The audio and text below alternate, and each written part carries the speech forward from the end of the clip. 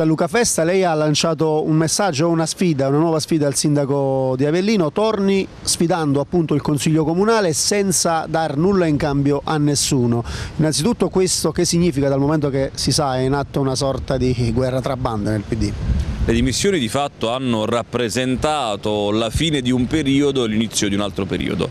Noi non possiamo certamente consegnare al commissario il comune di Avellino solo perché abbiamo perso le provinciali. Non sarebbe giustificabile agli occhi eh, della collettività una scelta del genere. Allora, o diciamo non siamo in grado di governare e per questo andiamo a casa, certo non possiamo dire che lo facciamo perché abbiamo perso le provinciali, oppure come io chiedo al sindaco venga in consiglio comunale, dica 4-5 cose che vuole fare, ponga 5 obiettivi e chieda la fiducia a me e ai miei colleghi consiglieri su questi obiettivi, senza dare nulla in cambio però, altrimenti ci troveremo dinanzi al volgare mercato delle vacche e della proposta di incarichi in cambio di un voto di fiducia. Questo la città non lo merita, merita invece di essere governata bene. Ecco, la cosa, diciamoci la verità, che potrebbe stupire qualcuno anche nel PD è che si imputava proprio a Gianluca Festa eh, la volontà di, voler, di, di, supportare il sindaco a patto che avesse fornito, dato un, un, assessore, un incarico, un qualcosa in cambio. Dal suo punto di vista non c'è nulla di tutto questo? Assolutamente no, infatti lo abbiamo detto sui giornali, lo diciamo anche attraverso i vostri teleschermi.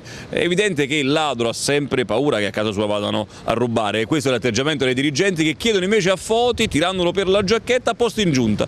Noi invece non ne chiediamo, gli chiediamo però di governare bene Avellino, magari di fissare questi cinque punti, noi ci stiamo, vediamo quali dei miei colleghi saranno disponibili a dargli questa fiducia sui punti amministrativi e chi invece vorrà in cambio una poltrona poltrona. Ebbene questi è meglio perderli.